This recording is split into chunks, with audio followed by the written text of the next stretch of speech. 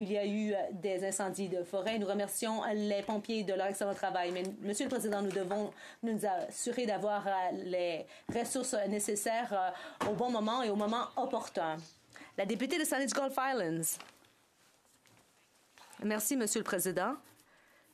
Euh, et je m'adresse au ministre de la Protection civile. Nous devons en faire davantage.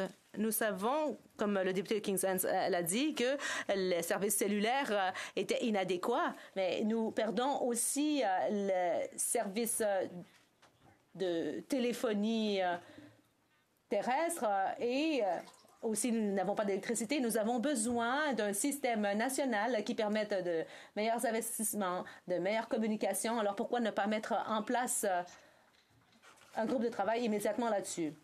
Le ministre, je serai ravi de collaborer avec ma collègue sur le sujet et d'écouter euh, les propositions qu'elle a à faire. Chaque fois qu'il y a une demande d'aide d'urgence au pays, chaque année, nous corrigeons le tir et nous appliquons les, les leçons retenues. Cette année, nous avions eu euh, des incendies, des inondations et même des ouragans. Nous euh, avons déployé les ressources et nous voulons avoir les ressources adéquates au bon endroit et au bon moment. Ceci met fin à la période des questions pour aujourd'hui.